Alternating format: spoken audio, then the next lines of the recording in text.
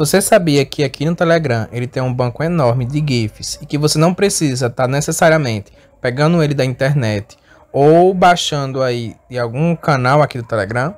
Pois é, é possível você localizar GIFs no próprio chat. Por exemplo, vou entrar no grupo aqui e vou apertar aqui em GIFs. O meu aparece GIF porque foi a última opção que eu selecionei aqui. Só que deixa eu deixar emoji, ó.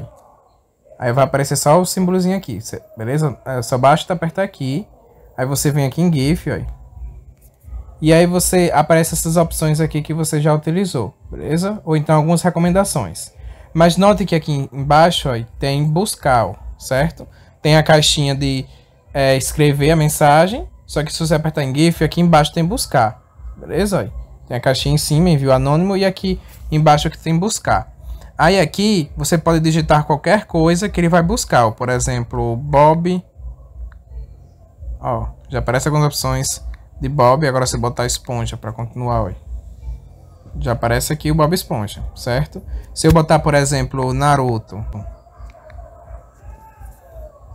Ele vai pesquisar também. Eu posso colocar um personagem também.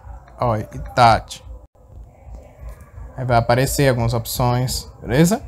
Aí se você quiser, você é só apertar em qualquer um que ele já envia. Só que se você segurar sobre qualquer um e deslizar para cima, aí aparece a segunda opção, ó, adicionar os GIFs. É quando você aperta aqui, aí pronto. Ó. Quando eu voltar, vou voltar aqui, ó, ele já aparece aqui na minha lista de GIFs, beleza?